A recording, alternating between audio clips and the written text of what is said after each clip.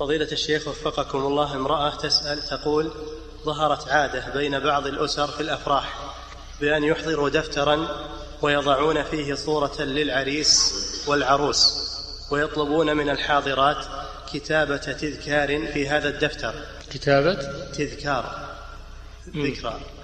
وعندما رفضت الكتابة ألزموني ووصفوني بأنني متشددة فما حكم هذا العمل؟ وهل هو من عادة النصارى في كنائسهم؟ هذا من فعل المحرم لأن التصوير حرام. التصوير في حد ذاته حرام وكبيرة من كبائر الذنوب. تصوير المرأة وهي متزينة وقد تكون سافرة هذا منكر آخر شر آخر.